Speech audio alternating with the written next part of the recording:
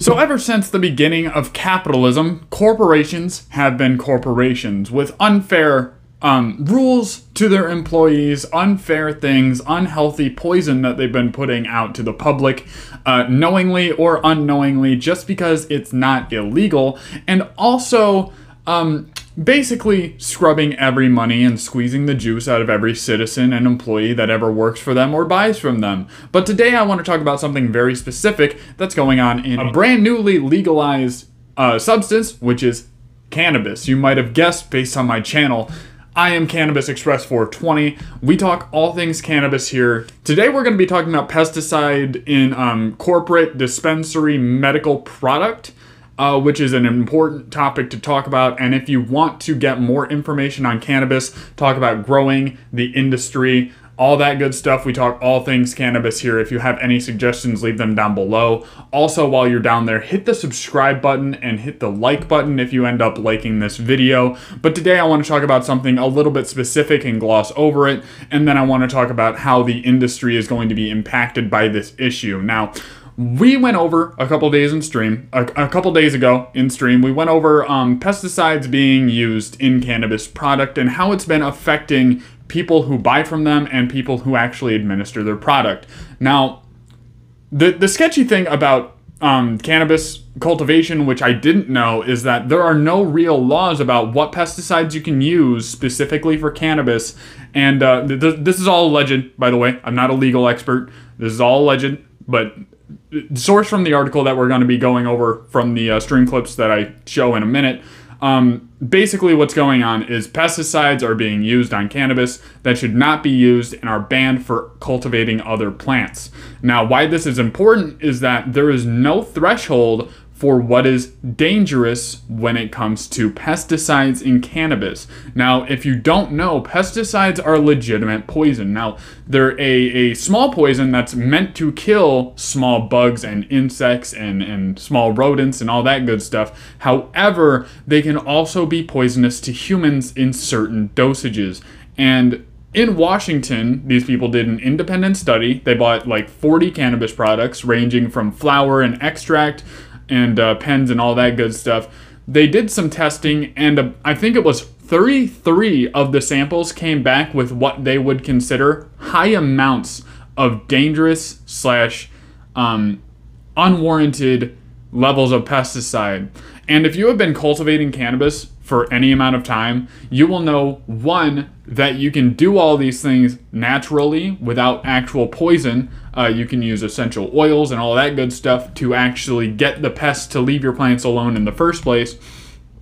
And you can also do things uh, to just otherwise avoid pests being in there without using poison. It's very crazy one of the people they talked about actually kind of broke my heart, got me a little rattled, uh, got me shooken up and, and, and a little red in my boots. Is they were um, talking about a, a cancer patient that they had using medical medicinal marijuana supplies to actually treat the symptoms of her cancer, and she ended up getting getting poisoned from the pesticide. And they're saying that it's an industry wide issue. And the reason I believe that's absolutely true, in my opinion, allegedly, is um, it, it's that when these big black suit and tie corporations come in here and buy up dispensaries or just get into it for the money. They they have been listening to the hippie community. They have been listening to the cannabis community. They've been eavesdropping on us because they knew that business opportunity was going to come up. And I, I, I believe that they got the impression that this was somehow going to be like an infinite money glitch that they could take advantage of, make piss poor product and shill it out. And I think the big reason uh, that is is because when it comes to cannabis, we treat it a lot like alcohol. We treat it a lot like candy. We treat it a lot like something casual that you can just buy from the convenience store. Tylenol, um, um, not uh, not obviously in the availability. Like there's still laws of like how you can get it, like being 21 plus, uh, recreational, medical, all that good stuff. There's roadblocks into getting the product, but but the way we treat it mentally, it's a very casual and well liked thing for the most part. And I think the big corporation guys who don't know anything about cannabis swooped in, saw an opportunity to sell shit product that's dangerous to people who are under the impression that they're using a medicine. And and let me tell you, man, that pisses me off. But I just wanted to get in here, gloss over it a little bit, tell you guys what's going on, and and now I want to show you guys the uh, stream clip where we actually went over it. Also, shout out to insurance, fucking scam, and um, college, fucking scam. Sketchy pesticides practice practices in the pot industry uh, predate legalization, and old habits die hard. Setting up a system zero tolerance encourages cheaters and Biro to a new leaf empri- em- wow enterprise. Uh, one early victim of the abridged of the le- state's legal pesticides enforcement system argues if at all or nothing and you're about to lose your lose a crop why not risk it all? Yeah that's a good point. Um turns out um old boris was onto something. Zero tolerance systems like the one we've set up for legal cannabis uh, come with a need for re- robust enforcement. Uh, the wslcb has been in theory uh, deterring growers from continuing to use banned substances offering stiff penalties uh, for anyone caught doing so. However, um, the stick was apparently more of a finger wag, uh, while they did catch a fine or two of state's largest growers for using pesticides. It wasn't necessarily due to the proactive investigation, both just came from anonymous tips. So they don't do shit they don't actually do anything when they find people doing these things. They just kind of say, "Hey, um, if you're willing to pay your way through because someone exposed you for doing something gross, uh, just give us the twenty thousand dollars and uh, you can uh, be on your way. You can uh, keep doing that business. Just give us our fucking cut." Which is a big pattern you see in the U.S. Uh, economic system constantly.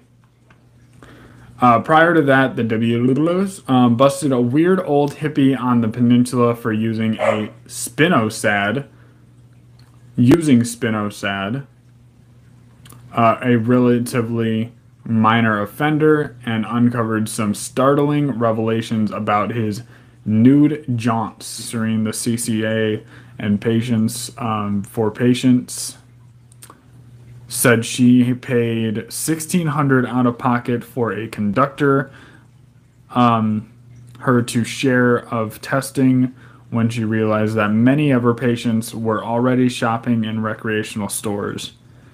That's fucking insane. Yeah you're welcome man. Uh, this this stream i'm dedicating literally just looking into cannabis drama and also answering all of chat's questions. Uh, so anyone who wants to hop in and ask any question is more than welcome to while I go through and read about these sketchy business practices um, that dispensaries are pulling off.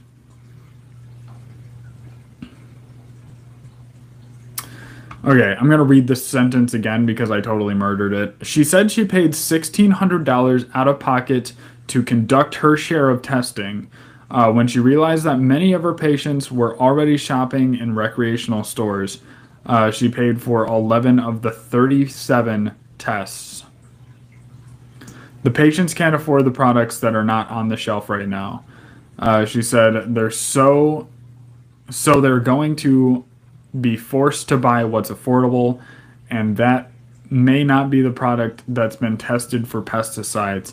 It also may not be a product they should use. It might not even be a product they need um, the, the the products that someone might need might not be affordable, but they might not know that because we can't really discuss medical stuff unless they have a prescription, uh, which if you're shopping for medical, you already do. But even then, I think they have to tiptoe around a lot of the effects that the plant can actually give off simply because of its um, legal status federally. I think that's how that works. I could be dumb, but I know they can't talk about it to uh, recreational patients. Uh, she was especially dismayed that one concentrate product rang in at over 200,000 parts per billion of a microneedle. Okay, mycobidinol. Mycobidinol?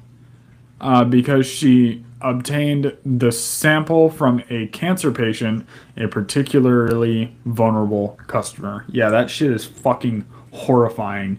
You're selling smokable poison um, to cancer patients.